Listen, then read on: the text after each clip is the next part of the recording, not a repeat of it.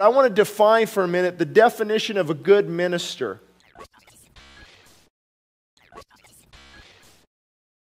Because in our culture today and with the church as a whole, what is a good minister? Paul says, Timothy, if you instruct the brethren in these things, you will be a good minister of Jesus Christ. He didn't say if you're everybody's friend, if you're Mr. Nice Guy, if you do all these nice things and people love you and you're and isn't he such a great person? No, that a, a minister or somebody called to preach the gospel must be faithful to the command of Scripture. So a good minister, according to the Word of God, is one who proclaims the truth in a spirit of love and gentleness and meekness, of course, but to proclaim the truth. And many times, myself included, we think, oh, the pastors, they've got to be these nice, meek, mild mannered guys, smiling all the time, never say anything controversial, never upset, never offend. The Bible offends.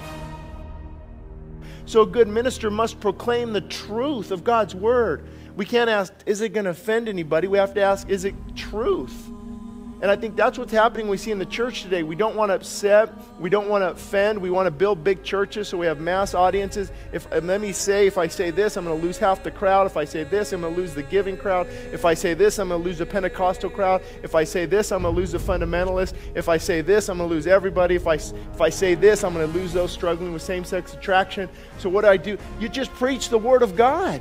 That's a good minister of Jesus Christ. Let the chips fall where they may. So Paul's saying, Timothy, that's what a good minister is.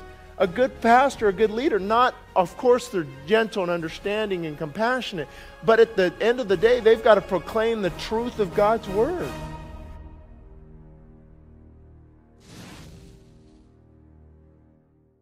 Looking at God's word, looking at where the culture is going, the church is coming to a big shift. You're going to see, you're going to see people either embracing the Word of God or you're going to see relativism sneak in. They're not going to take the Word of God seriously. They're going to ponder, they're going to contemplate it, they're going to think about it. I don't know, is it really true?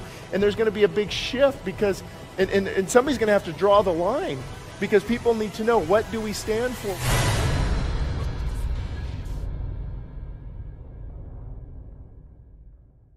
Living like Jesus, living like Jesus is not the gospel.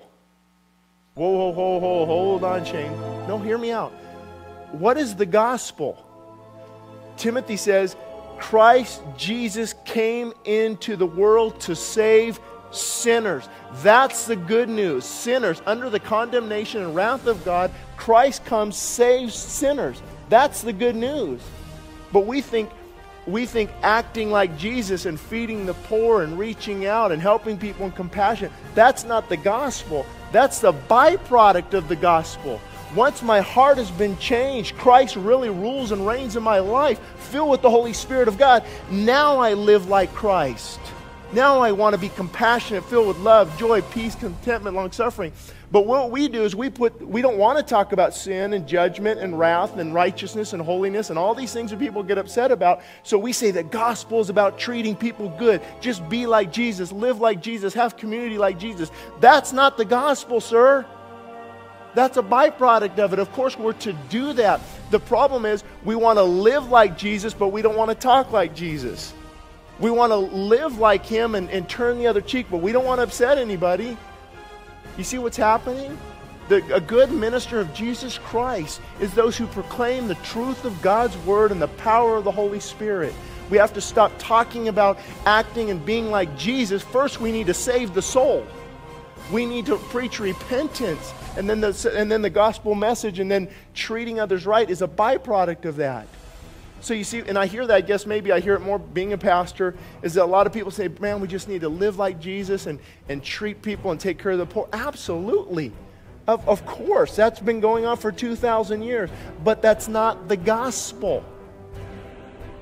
There will be a time when they will not endure sound doctrine, but they will look for teachers who will tell them what they want to hear. That's why Paul told Timothy, Timothy, preach the word.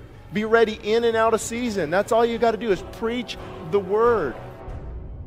We need to hear about the hard, difficult truths because the difficult truths are the foundation of the gospel.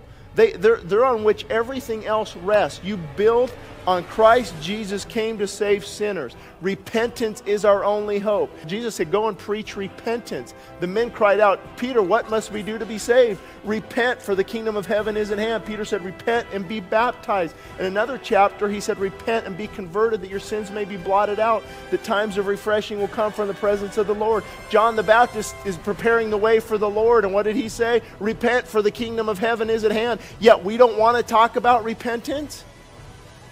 That's what's wrong in the church of America.